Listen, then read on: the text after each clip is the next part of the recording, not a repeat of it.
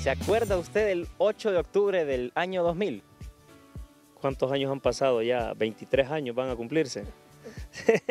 sí, ¿cómo, ¿cómo olvidarlo? Yo siempre eh, hago un poco de jocosidad con eso. Les digo yo que todo el mundo me conoce por ese gol y no por todo lo que hice en Olimpia o a nivel de, a nivel de otro montón de detalles que hice en selección nacional con Juegos Olímpicos, Juegos Panamericanos.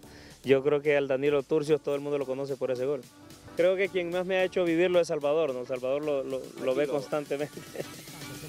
Atención, viene Honduras, sigue Jairo, se acercó Jairo, sigue Honduras, peligro de gol, viene Jairo, está en el área, va al área, entra Jairo, mete centro, toca un Faison, la pelota con la mano, el remate, se estrella, desde atrás el tiro, golazo, golazo, golazo, golazo, golazo, golazo, golazo, gol de Honduras, gol de Honduras,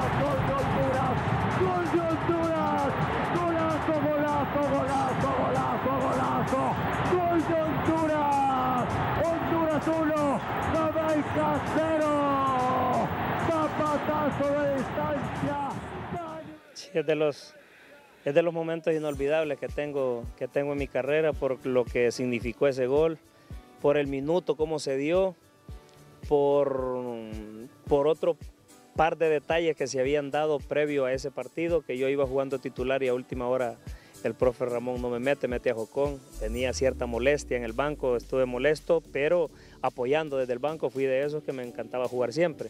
Era un chamaco de, de 20 años y, y bueno, quería comerme el mundo, quería jugar y, y, la verdad que fue, fue muy difícil cuando el profe tiró la alineación y toda la semana entrené de titular y a última hora dijo que, que se iba por la experiencia de Jocón.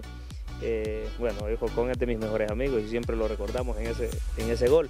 Pero, pero sí muy molesto, muy molesto cuando me dijo, cuando me llamó eh, para entrar, me, me, pidió para, para que me acercara a él, les dije de que no, que me metieran ya, que no quería ningún consejo. Total, faltaban 3, 4 minutos.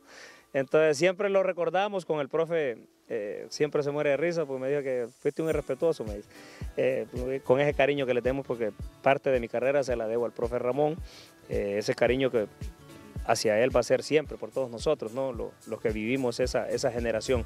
Pero sin duda alguna es un momento que marcó mi carrera, que marcó mi vida como profesional y que me sigue marcando. ¿no? Hoy me encuentro con jóvenes que, que iban de la mano saliendo del estadio de 8 o 10 años, que, que se habían ido, se estaban yendo con sus papás y les tocó ir a ver el gol por la tele, pues no lo vieron. Este viernes, Honduras visita Jamaica en el Independence Park de Kingston, un estadio en el que jamás hemos ganado. Eh, de las canchas más complicadas que nos tocó eh, vivir, que nos tocó visitar eh, a nivel de, del Caribe. Es una cancha muy difícil donde ellos eh, no podemos decir que el clima, porque nosotros estamos acostumbrados a ese tipo de climas acá también en nuestro país.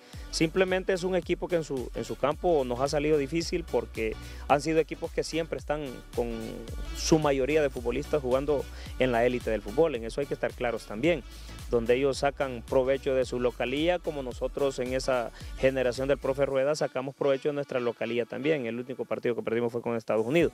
Entonces eh, va a ser difícil, va a ser difícil como ha sido durante todo este tipo, durante todas estas eliminatorias.